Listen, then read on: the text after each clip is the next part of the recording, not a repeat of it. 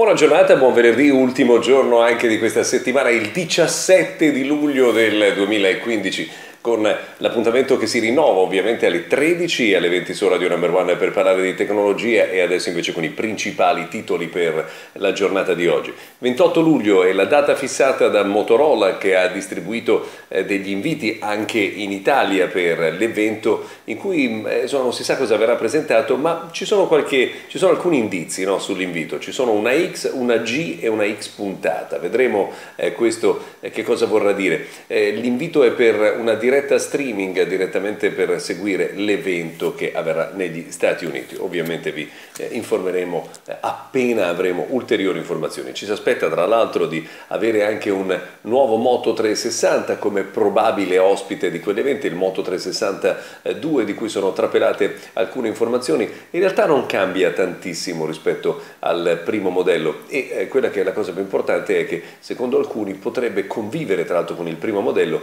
potrebbe essere affiancato affiancata infatti la vendita dei due prodotti senza abbandonare la prima edizione dello smartwatch. A proposito di smartwatch arriverà eh, anche quello di Swatch che ieri ha annunciato il suo progetto per eh, produrre un orologio che avrà diversi giorni tra l'altro di durata della batteria e delle funzioni smart al suo interno. Non è dato sapere con quale tipo di software e con eh, che tipo di funzionalità per il momento, però è solo un progetto per i prossimi mesi. Difficile con eh, l'autonomia di diversi giorni che è stata annunciata che si possa parlare di un eh, prodotto Android Wear. Vedremo.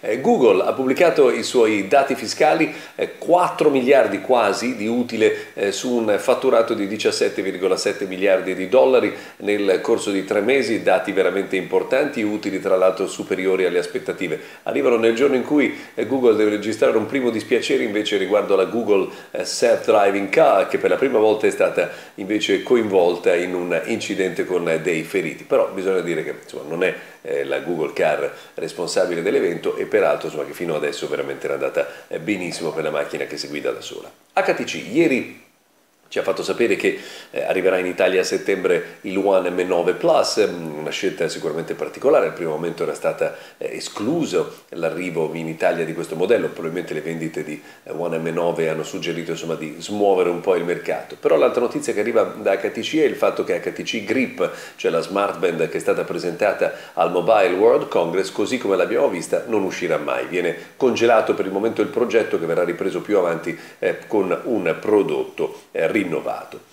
Misterioso benchmark invece eh, che ha mm, svelato un prodotto di LG con uno Snapdragon 808 a bordo e con 4 GB di RAM. Secondo alcuni potrebbe essere il nuovo Nexus Phone. Vedremo eh, quello che verremo, riusciremo a scoprire nelle prossime settimane. E poi l'ultima cosa riguarda l'Amazon Prime Day che ha battuto ogni record di vendita nella giornata del 15 eh, di luglio, ma a quanto pare l'Amazon Prime Day ha fatto benissimo anche a tutti gli altri siti eh, di vendite online che hanno registrato un traffico di due volte e mezzo superiore a quello abituale e questo probabilmente perché i delusi dell'Amazon Prime Day, coloro che non sono riusciti ad agguantare il proprio oggetto desiderato, poi hanno ripiegato su altri venditori. Però insomma sicuramente un'operazione interessante, vedremo se Amazon deciderà di ripeterla. Noi ripetiamo Mr. Gadget una volta alle 13, una volta alle 20, ovviamente l'appuntamento è su Radio Number One. Buon weekend, ciao!